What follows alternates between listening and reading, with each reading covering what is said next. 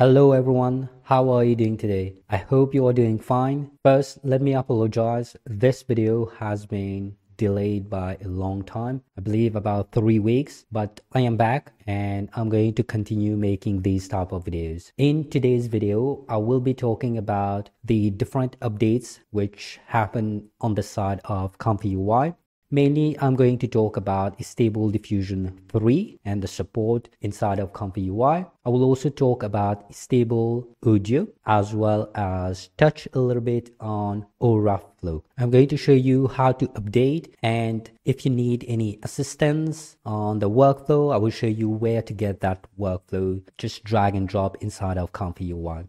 All right, so with that, let's just get started. All right, first you will need to update Comfy UI. And if you have the Comfy UI portable, you can go into the installation folder, go into updates, and then just double click on where it says update underscore comfyui.bat. Now, if you have not updated your Comfy UI in a while, it is possible that you will get some dependencies conflict. There were an update where the dependencies were changed so in that case, you may have to do comfy UI and underscore python underscore dependencies dot bat. So first give update underscore UI dot bat a try. If not, then try the other one. That's just a simple double clicking on it and it will open the terminal and it will do the installation. Now, once that is done, you will need to go back and click on the run NVIDIA GPU or however you are starting Comfy UI. It will continue, update and download some additional dependencies there. Now, if you're not using the Comfy UI portable, then most likely you will have this as your default Comfy UI folder.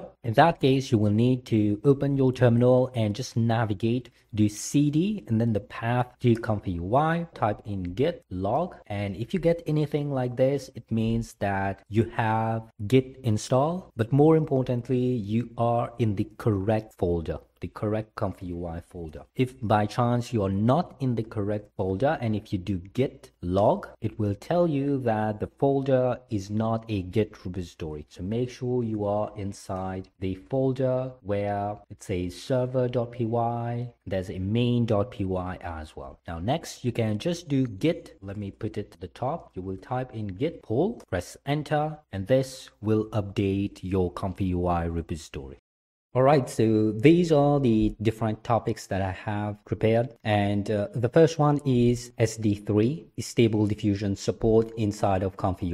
Now, I'm not going to go into individual details on each and every update because there were a lot of optimization which happened during the past month. Instead, I'm going to show you how you can update your Comfy UI, how you can download the model, where the workflows, and how to get started with a Stable Diffusion 3. So first, there will be a link in the description below. By now, you should be familiar with the Comfy UI GitHub repository by Comfy Anonymous. So if you scroll down, there will be a Comfy UI examples. Click on it and one of the examples will be about Stable Diffusion 3. So SD3 here. Open this one and at the top you will see that we have two different uh, models which you can download. The first one is 5.5 gigabytes and this is the one that I will be using mainly because of RAM limitation. But if you want to test the other one, you have the required RAM or VRAM, then you can test the other one. Basically, the main difference is that the 5.5 gigabyte one, the SD medium include clip, has only the clip L and clip G. By the name, you may be familiar with it from SDXL. Now, with the 10.1 gigabyte one, there is one additional clip, the T5XXL clip inside it. Now, regardless of which one you're using, simply click on the link. This will send you to Hugging Face and look for the one that uh, you want to download. I'm going to go with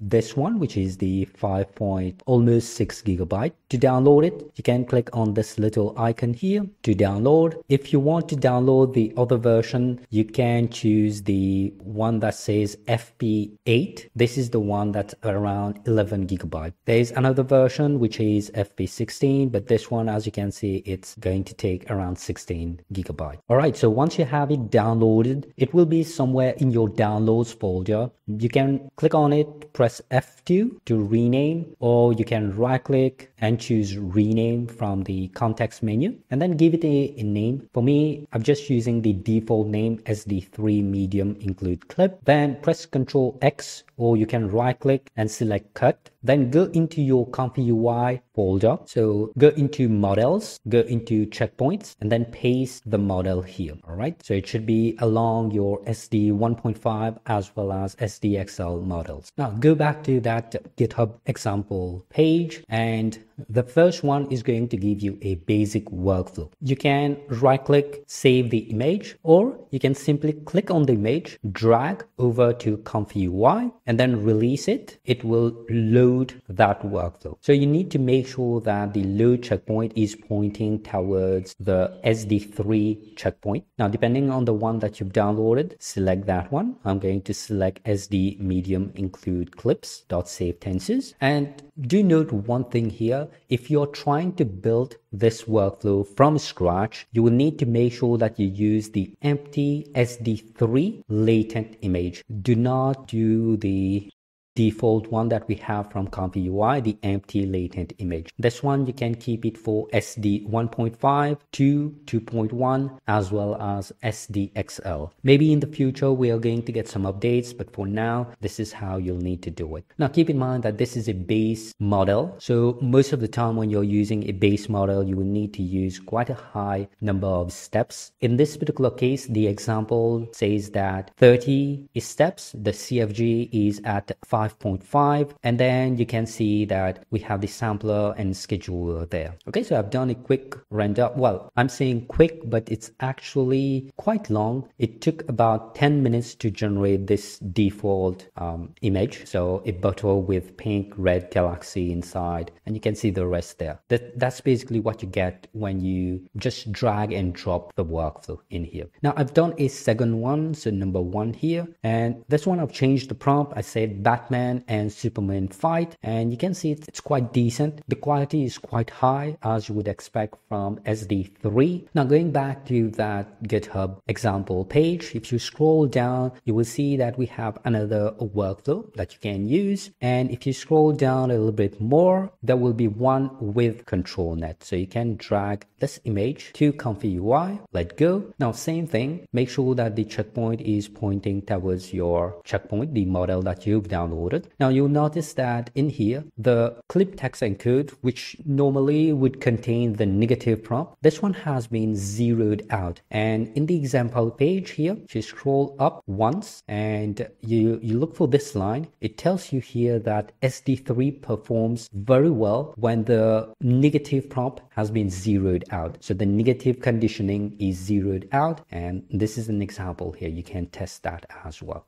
Now for the control net, you will need to download the specific SD3 control net and you can get it from the example page as well. Go into SD3 control net and there will be a link to Instant X. This is the company that basically provided these control nets. Now to download it, we have Canny control net. You can click on where it says here. We'll send you to Hugging page and this time you can click on this download button here. Now back to your file explorer, you can go into the download downloads, find that ControlNet model there, and then move it to the ControlNet folder. Now, everything else should be familiar. You will have your load image for the ControlNet. Keep in mind that this one will be canny. and because the SD3 latent image is 1024 by 1024, you want to make sure that you are scaling or cropping your image to a 1024 by 1024 resolution. And also know that we are using the control net Apply SD3 instead of the Apply control net that uh, you may be familiar with. That's right. The rest should be fairly easy. Aside from that, I think the rest is pretty much like optimization or support for the previews. And then there's a couple of workflows. So let's move on to stable audio. And stable audio is basically making audio inside of Comfy UI. So it's going to be machine generated good audio. Don't expect to get something that you can use in music production, but it should be quite good based on my testing. Now back to that Comfy UI example page, scroll down until you see audio models. Give it a click. It will open the page and it will tell you that you will need to download two different model. This top one will be for the clip and the bottom one is the main checkpoint. So let's go for the clip. Click on the link. Again, it's going to take you to Hugging Face. Click on the download button and know that this one is about 900 megabytes in size. Now, once you have it downloaded, cut it, move it to your Comfy UI clip folder. Okay. Inside the clip, I've renamed my as stable dash audio dash clip dot safetensors. You can rename it using this name as well if you want to be consistent with the workflow. Now, next is the main checkpoint, the audio model. Again, once you click on it, it will take you to Hugging Face. Now, in this particular case, I've already accepted the license. But in your case, if this is the first time that you're doing it, you get something like this. It will tell you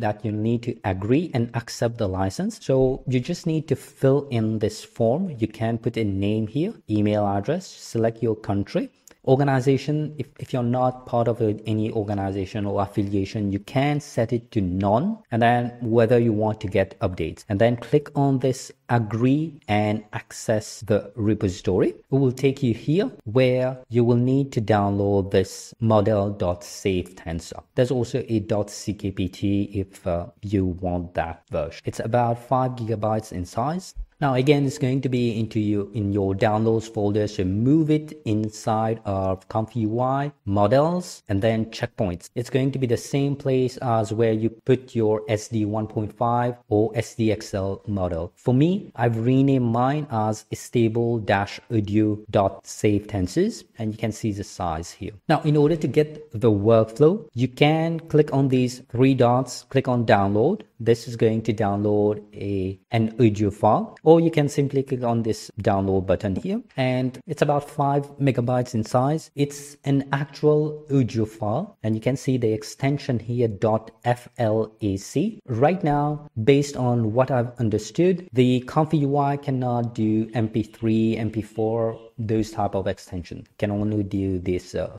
extension. So wherever you've downloaded it, most likely it's going to be in your downloads folder. All right, so I have my file browser here on the bottom left and Comfy UI is in the back. I'm going to select that audio file, drag it on top of Comfy UI, let go, and it will load the workflow. If you think note in this particular case, make sure that you are loading the correct clip. Now in my case, I've renamed it stable dash clip but if you've used that other name, T5, choose that one.